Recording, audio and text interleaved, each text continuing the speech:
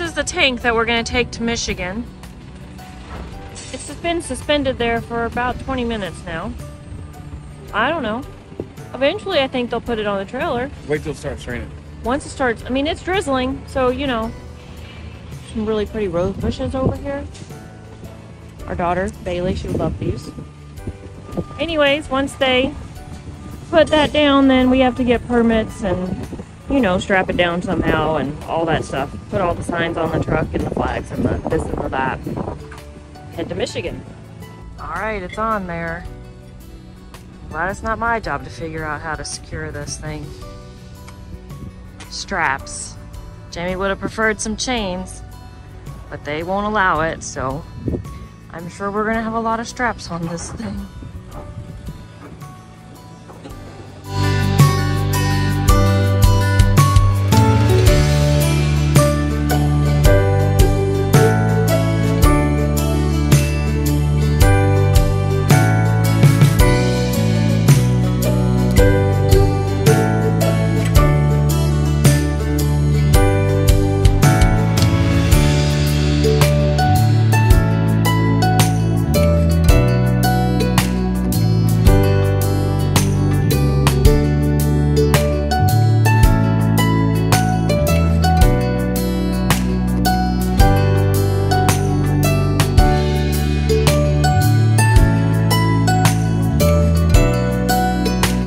We have to go find the flags for the four corners. They should be in here.